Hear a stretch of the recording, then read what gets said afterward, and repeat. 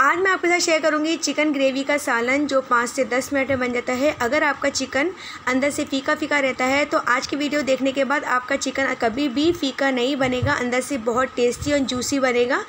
तो वीडियो को फुल देखिएगा इसकी बिल्कुल मत कीजिएगा और फैमिली फ्रेंड के साथ ज़रूर शेयर किया करें। फ्रेंड मुझे आप सबकी सपोर्ट की बहुत ज़्यादा ज़रूरत है और कमेंट्स में बताइएगा कि आपको आज की मेरी वीडियो कैसी लगी। तो बातें हो गई बहुत ज़्यादा तो चलिए वीडियो शुरू करते हैं। बिस्मिल्लाह रहमान रहीम अस्सलाम वालेकुम टू फैमिली। कैसे हैं आप सब?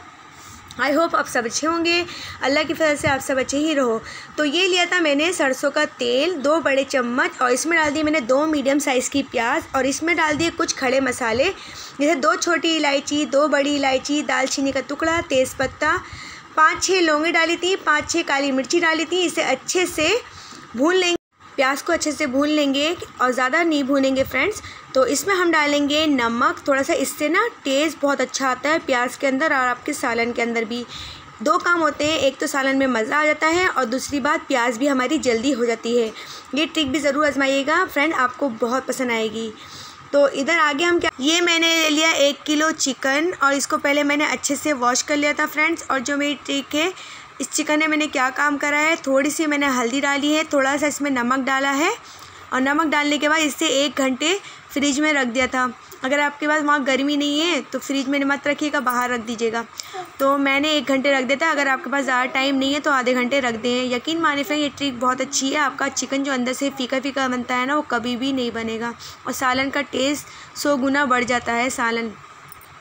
तो आप जब बनाएँ तो ज़रूर मुझे कमेंट्स में बताइएगा कि आप लोगों ने ये ट्रिक आजमाई है या नहीं।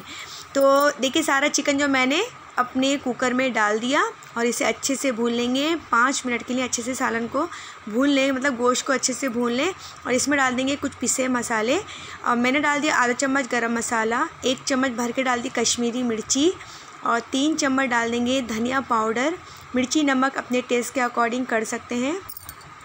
और फ्रेंड मैंने ना प्याज के अंदर भी आपको नमक दिखाया था चिकन में भी थोड़ा मैंने नमक डाल रखा था तो नमक अपने ध्यान से डालिएगा। और इसके अंदर डाल देंगे अदरक लहसुन का पेस्ट एक चम्मच मतलब जो मेरा इसमें पड़ा हुआ है। और इसके अंदर डाल देंगे ये कौरमे का मसाला है। अगर आपके पास चिकन मसाला है तो वो भी डाल दें। अगर आप नहीं डालना चाहते हैं तो इसे स्किप भी कर सकते हैं। अगर आपके घर में कोई गेस्ट आ रहा है ना फ्रेंड्स तो ये वाली रेसिपी बेस्ट है। और पाँच से दस मिनट बन, लगते हैं इसे बनने में और खाने में तो बहुत ही मज़ेदार ये रेसिपी बन के तैयार होती है। तो सालन को अच्छे से भून लेंगे पाँच से दस मिनट। अब इसके अंदर हम ऐड कर देंगे एक कटोरी भर के दही। दही कभी भी डालिएगा तो गैस स्लो कर दें, वरना ना दही फट जाता है फ्रेंड्स वो दाने, दाना पड़ जाता है दही के अंदर. तो ये देखें, अच्छे से हमारा सालन जो है बनके तैयार हो चुका है. इसके अंदर हम डाल देंगे एक चीज़ और, नारियल का बुरादा. और आप चाहो तो और भी चीज़ें और डाल सकते हो. बस मैंने नारियल का बुरादा डाला था. आप चाहो तो इसके अंदर काजू भी पीस के डाल सकते हो. खशखश भी डाल सकते हैं. तो मैंने बोला ना सिंपल वाला बना रही हूँ, पर खाने में तो बहुत ही टेस्टी बना था. अब इसके अंदर थोड़ा सा हम डाल देंगे केवड़ा, दो तीन ड्रॉप डाल देंगे और ढक देंगे इसे और पाँच मिनट ढकने के बाद इसे हम सर्व करेंगे गर्मा गर्म। आप इसे नान, रोटी, चपाती के साथ राइस के साथ सर्व कीजिएगा। यकीन माने फ्रेंड ये बहुत मज़ेदार रेसिपी बनी थी। आप एक दफ़े मेरे कहने से ज़रूर ट्राई कीजिएगा। आपको बहुत पसंद आएगी।